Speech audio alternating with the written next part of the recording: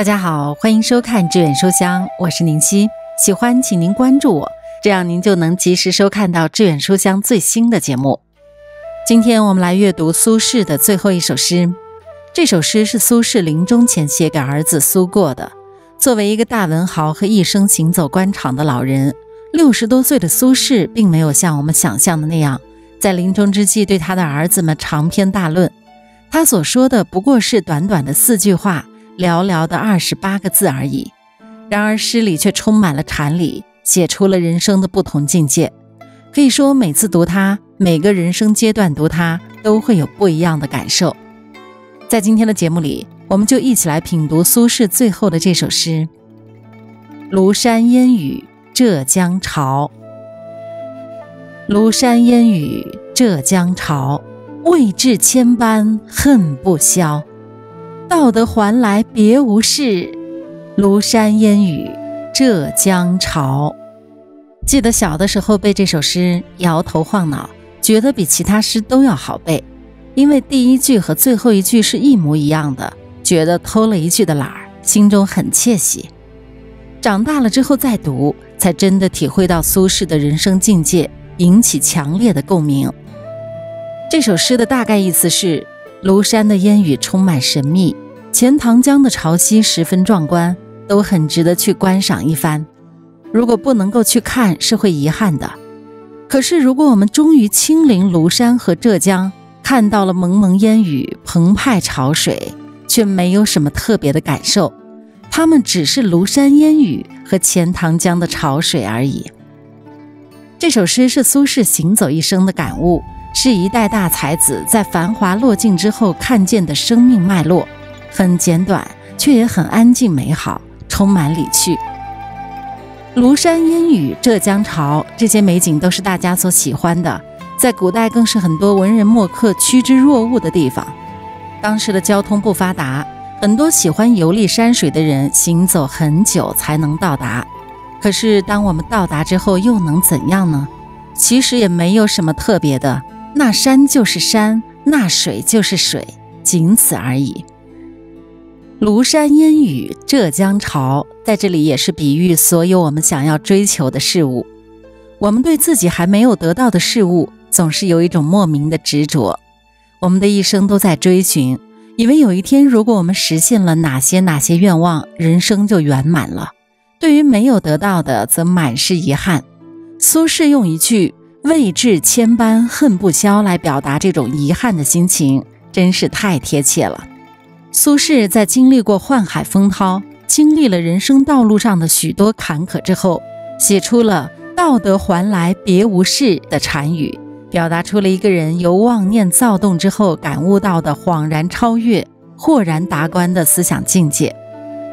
年轻的时候，总是或多或少的有些执念，总觉得有些地方一定要去。有些美景一定要看，有些梦想一定要实现。但是，当真的见到了自己想见的风景，经历了种种坎坷，再回头看，会发现当初的执着只不过是过眼云烟。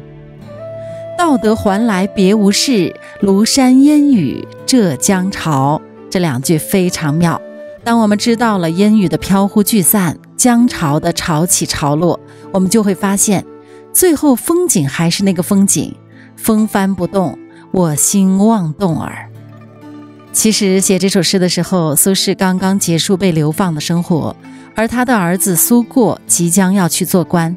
苏轼应该是希望儿子未来面对社会当中的喧嚣和各种诱惑的时候，能够保持平常心，随遇而安，不要抱有太多的执念，不要被太多的东西所牵绊、所奴役。人们总有攀比的心态，想要保持平和实在是太难。多少人为了心中的那份执念，做了很多不该做的事，在这个过程当中，丢失了多少原本的快乐，忽略了多少身边的风景。但人生本就是一场旅行，途中有美景，也有低谷。无论如何，每个人看到的山水都是和别人不完全相同的。既然如此，何不坦然面对一切？放下心中的执念。在禅宗的史书《五灯会元》中，高僧曾把入禅分为三个境界：第一个境界是见山是山，见水是水；第二个境界是见山不是山，见水不是水；第三重境界是见山还是山，见水还是水。当大彻大悟以后，我们发现看山还是山，看水还是水。那么见和不见又有何不同？生命之旅又有何意义呢？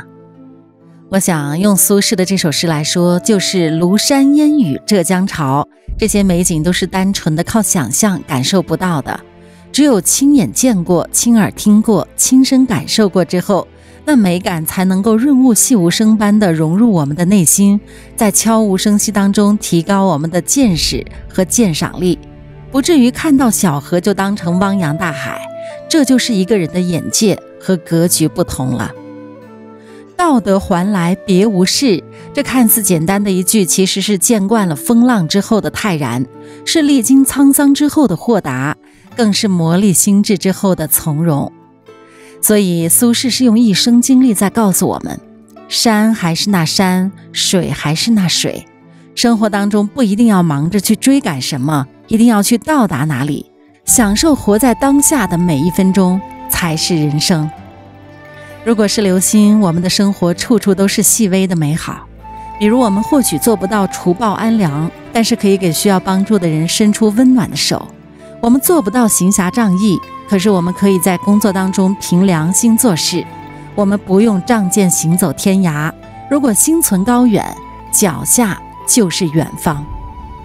如果我们是个有心人，那么怒放的蔷薇，新发的嫩芽，初升的太阳。一阵清风，一本新书，一个笑脸，都能愉悦我们的生命。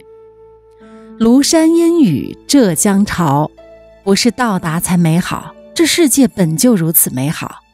当我们开始用心生活的每一天，都是最好的风景。愿我们都能够过好每一天，不负时光，不负自己。好的，今天的分享就到这里。苏轼的最后一首诗，您喜欢吗？欢迎您在评论区留下您的观点。这里是致远书香，我是宁熙。喜欢节目，欢迎您关注我。还有您的点赞、评论和转发，也是对节目最大的支持。感谢收看，我们下期再会。